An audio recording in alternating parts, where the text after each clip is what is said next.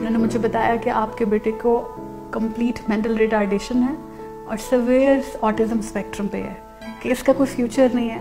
ये कभी खाना नहीं खा पाएगा, ये कभी टॉयलेट वॉशरूम इंडिपेंडेंट नहीं हो पाएगा।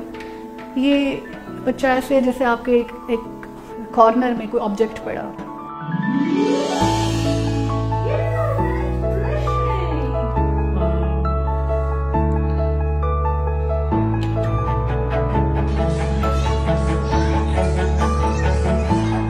एक ऑब्जेक्ट इन अ कॉर्नर वो ना कोई बात को रिस्पॉन्ड करता था, ना कोई उसकी इंस्ट्रक्शन फॉलोइंग थी।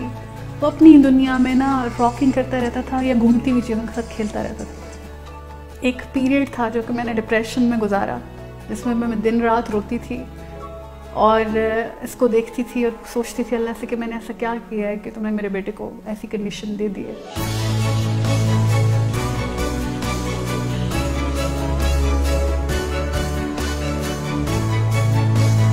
बहुत से काम जो कि साइकेट्रिस्ट ने बताया था, ये कुछ नहीं करेगा, सब कर रहा है।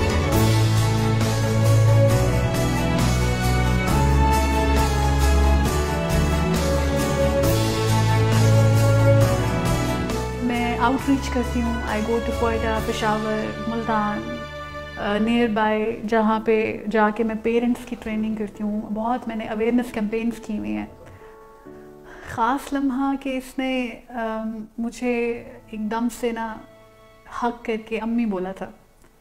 और अम्मी अम्मी अम्मी और इसने काफ़ी देर बोलता रहा था। बस ये सिर्फ़ एक ही दफ़ा बोला था।